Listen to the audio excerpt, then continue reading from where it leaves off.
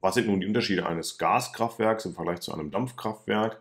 Zunächst wird in einem Gasturbinenkraftwerk kein Dampf erzeugt zum Antrieb für die Turbinen.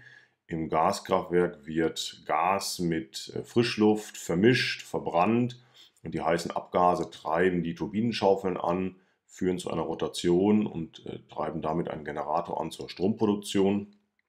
Ein Vorteil von Gasturbinenkraftwerken ist, dass diese innerhalb von wenigen Sekunden bis Minuten ihre volle Leistungsfähigkeit erbringen können.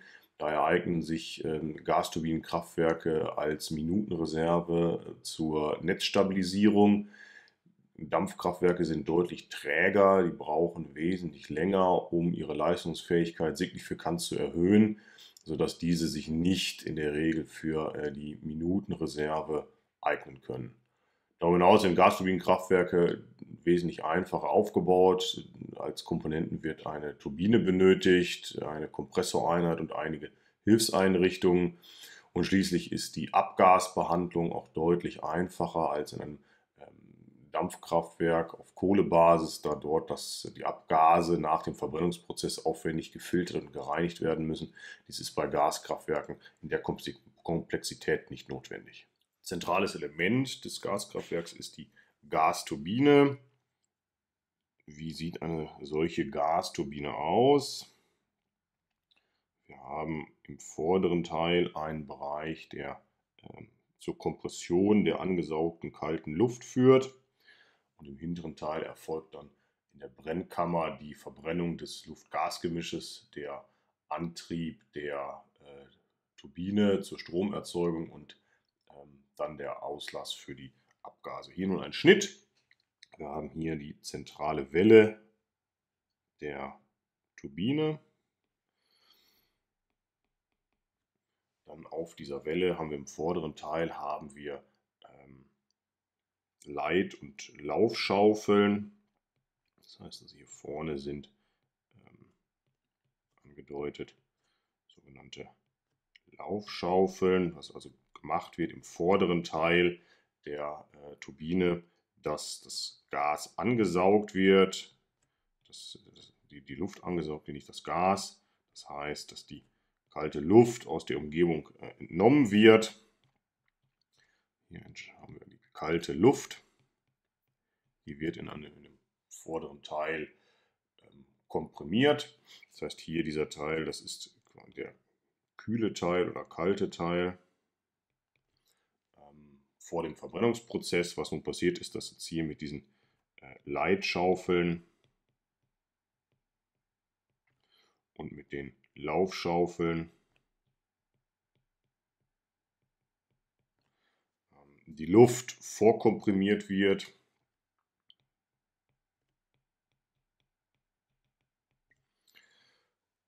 um Energie bereits in die Luft zu bringen. Im Anschluss ähm, erfolgt, die, erfolgt die Brennkammer. Hier wird dann das Gas, das Erdgas, ähm, beigemischt in einem Prozess. Das heißt, hier gibt es dann einen Zustrom von Erdgas. In der, im, im Brennkammerteil die das Gas wird mit der äh, komprimierten Luft vermischt, äh, wird entzündet. Hier haben wir dann den Bereich der äh, Brennkammer im unteren Teil entsprechend auch nochmal, dass dann hier das Erdgas zugeleitet wird. Ähm, es entsteht ein ähm, Gemisch des Erdgases mit der Luft, das wird verbrannt. Es wird sehr schnell, werden sehr hohe Temperaturen erreicht und dann haben wir im hinteren Teil den Turbinenteil erneut mit dem äh, Prinzip, dass wir dort wieder Lauf- und äh, Leitschaufeln haben. Und dieses, äh, die komprimierte Luft wird dann in den äh, Bereich mit den hohen Temperaturen geführt. Das hier ist dann der Turbinenteil. Und in diesem Turbinenteil wird die Luft nun mit diesen Leit- und Laufschaufeln ähm, treibt die Turbine an. Die Turbine wird in Rotation versetzt. Diese Rotation führt dazu, dass im vorderen Teil ebenfalls es zu einer Rotation führt, weil der ähm, Kompressionsteil auf, über die Welle verbunden ist mit dem Turbinenteil. Dadurch erfolgt der Antrieb und im hinteren Teil haben wir dann äh, die heißen Abgase, die an die Umgebung abgegeben werden. Das ist das Grundprinzip einer, äh, einer Gasturbine ähm, in einem Kraftwerk, die äh, durch das Ansaugen der kalten Luft, die Zuführung von Erdgas oder theoretisch kann man, äh, geht das auch mit flüssigen Treibstoffen, ähm, aber in dem Fall hier mit Erdgas vermischt wird, äh, entzündet wird und dann das heiße Abgas die Turbinen antreibt, ähm, zu einer Rotation führt und darüber dann einen Generator antreibt, der Strom erzeugt. Das Prinzip des Gasturbinenkraftwerks ist hier in einem Blockschaltbild dargestellt. Wir haben die Frischluft, die angesaugt wird, über einen Kompressor vorkomprimiert wird. Dies ist ein isentroper äh, Prozess, also ein sehr schneller Prozess, bei dem kein Austausch von äh, Wärme mit der Umgebung erfolgt. Im nächsten Schritt wird diese komprimierte Luft bei etwa 20 bar äh, mit dem Brennstoff, mit dem Erdgas vermischt und dann in der Brennkammer entzündet. Dabei handelt es sich um eine isobare Zustandsänderung.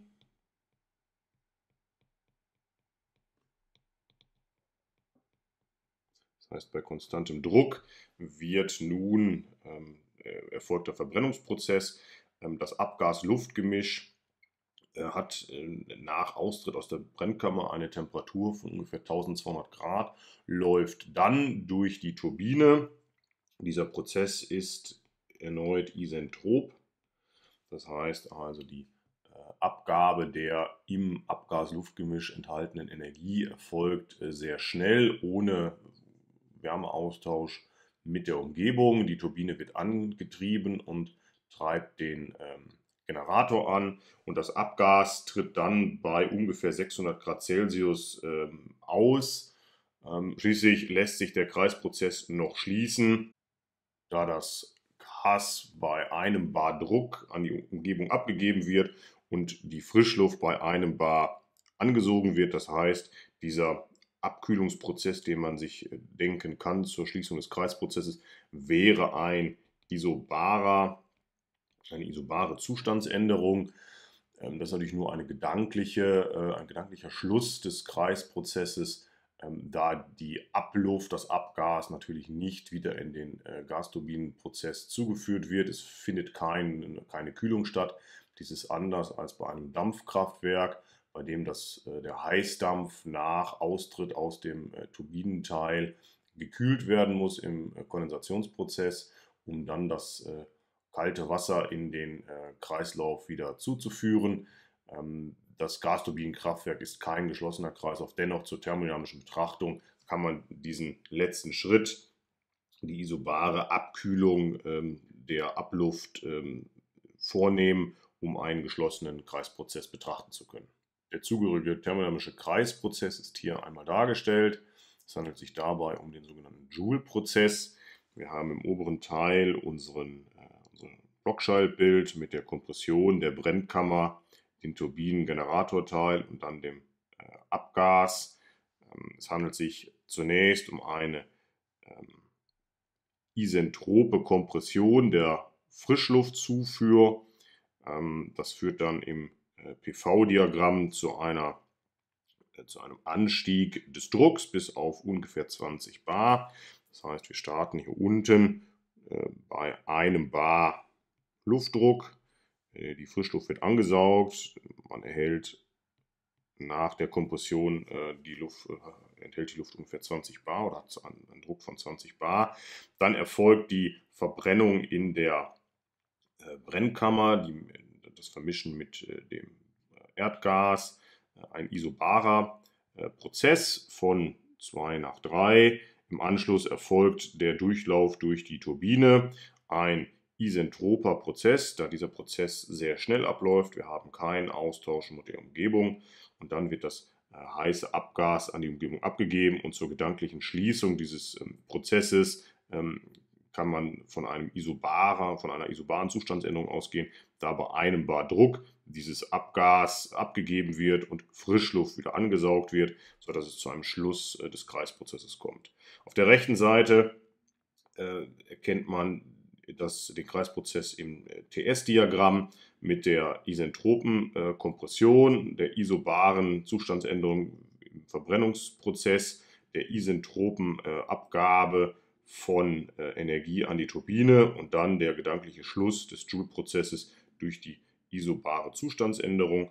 Und diese Fläche, analog zum Carnot-Kreisprozess, ist die Energie oder die Arbeit, die das System leisten kann. Ähm, das heißt, das Ziel eines Gasturbinenkraftwerks, das Ziel des Joule-Prozesses ist es natürlich nun, ähm, diese Fläche ebenfalls zu maximieren, um aus der zugeführten ähm, Energie, das heißt, hier erfolgt ja eine Zuführung von, von Wärme, eine maximale Arbeit äh, zu gewinnen, es ergibt sich aus dem TS-Diagramm direkt als Fläche unter der Kurve die abgegebene Wärmemenge, das ist Q ab. Das lässt sich im TS-Diagramm direkt ablesen, im äh, PV-Diagramm ist dies nicht möglich. Äh, man erkennt nur hier, dass hier Wärme abgegeben wird, gedanklich, dadurch, dass das heiße Abgas bei 600 Grad abgekühlt werden müsste auf äh, die Temperatur der zugeführten Frischluft bei 15 oder 20 Grad und einem Bar Druck. Was bedeutet dies nun für das Gasturbinenkraftwerk? Zu berücksichtigen ist, dass während des Verbrennungsprozesses sehr hohe Temperaturen von 900 bis 1250 Grad Celsius entstehen, bei einem Druck von 15 bis etwa 20 Bar. Das heißt, die eingesetzten Materialien äh, im, im Turbinenteil müssen diesen Prozessbedingungen natürlich standhalten können. Insbesondere den hohen Temperaturen müssen entsprechend aus entsprechenden Materialien ähm, hergestellt worden sein. Die Rotationsenergie der Turbine treibt zum einen natürlich den Generator an, um den Strom zu erzeugen und treibt auch die Kompressionseinheit an. Das heißt also, dass der Kompressor die angesaugte frische Luft auf 15 bis 20 Bar äh, komprimiert verdichtet. Dieser Prozess verbraucht natürlich Energie und äh, diese Energie wird dem äh, Gesamtprozess entnommen und nicht von außen zugeführt. Das heißt also, dass dieser Kompressionsprozess möglichst effizient erfolgen soll. Vorteil von Gasturbinenkraftwerken ist, dass keine äh, Kühleinrichtungen notwendig sind, da das Abgas bei etwa 600 Grad Celsius an die Umgebung abgegeben werden kann. Es ist keine Kondensationseinheit wie bei Dampfkraftwerken notwendig und auch eine aufwendige Abgasreinigung ist nicht notwendig. Auch das ist anders. Äh, bei äh, Kohlekraftwerken muss, müssen die Abgase aus dem Kohleverbrennungsprozess aufwendig gefiltert werden, gereinigt werden, ähm, da dort Schadstoffe enthalten sind. Das ist bei einem äh, Gasturbinenkraftwerk auf Erdgasbasis nicht notwendig, ähm, da der Verbrennungsprozess ähm, quasi Abgas, also quasi schadstofffrei erfolgt. Wenn man nun Gasturbinenkraftwerke mit Dampfkraftwerken vergleicht, was ergeben sich daraus für Vor- und Nachteile? Der Wirkungsgrad von äh, Gasturbinenkraftwerken ohne äh, Vorwärmung, das heißt also, dass die Frischluft nicht vorerwärmt wird, äh, sondern lediglich komprimiert in die Brennkammer gegeben wird, führt dazu, dass der Wirkungsgrad ähm, lediglich 20 bis vielleicht 30 Prozent beträgt und damit kleiner als bei konventionellen Dampfkraftwerken liegt. Der Dampfkraftwerke einen Wirkungsgrad im Bereich von 40 Prozent erreichen, ähm, wird die angesaugte Luft ähm, nach der Kompression im Kompressionsprozess auch vorerwärmt, indem man zum Beispiel ähm, die Luft ähm, über einen Wärmetauscher an der Abgaseinheit vorbeiführt und dadurch vorerwärmt, ergeben sich höhere Verbrennungstemperaturen und ein höherer Wirkungsgrad von ungefähr 40 Prozent. Äh, das macht es natürlich äh, wesentlich aufwendiger, ähm, diesen Wärmetauscher zu integrieren. Technisch ist das natürlich möglich, aber es führt zu einer Verteuerung äh, des Gesamtkraftwerks. Durch den geringeren Wirkungsgrad ist der Einsatz von äh, Gasturbinenkraftwerken im Grundlastbereich äh, nicht sinnvoll. Dort sind äh, konventionelle Dampfkraftwerke äh, von Vorteil, da der hohe Wirkungsgrad im Bereich von 40 Prozent ähm, dazu führt, dass eine Grundlastfähigkeit vorliegt. Ähm, dies äh, lässt sich allein aus wirtschaftlichen Gründen erklären. Vorteil von Gasturbinenkraftwerken im Vergleich zu äh, Dampfkraftwerken sind, dass sich diese Gasturbinenkraftwerke schneller errichten lassen. Sie sind technisch nicht so komplex, da insbesondere der Teil der Abgasreinigung ähm, wegfällt.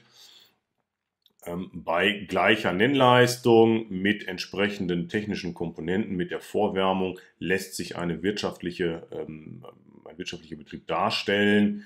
Ähm, das hängt sehr stark von den Bedingungen ab, auch hinsichtlich der Rohstoffkosten, der Strompreise etc. Aber dennoch ist es möglich, dass Gasturbinenkraftwerke bei vergleichbarer Nennleistung mit Dampfkraftwerken wirtschaftlich betrieben werden können.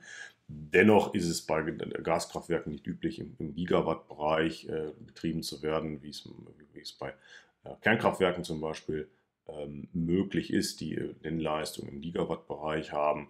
Ähm, das ist bei Gasturbinenkraftwerken unüblich und daher sinkt die Wirtschaftlichkeit. Der Vorteil, ein weiterer Vorteil bei Gasturbinenkraftwerken sind die, ist die Erfüllung sehr strenger Umweltauflagen. Das ist ähm, ein, ein, großer Vorteil da das Abgas nicht aufwendig gereinigt werden kann. Und schließlich dienen äh, Gasturbinenkraftwerke in modernen äh, Stromnetzen äh, zur ähm, Minuten, werden als Minutenreserve eingesetzt, da sie sehr schnell ähm, ihre Leistung verändern können, dass sie sehr schnell Strom ins Netz einspeisen können innerhalb von ähm, wenigen Minuten, sodass sie sich als Minutenreserve anbieten.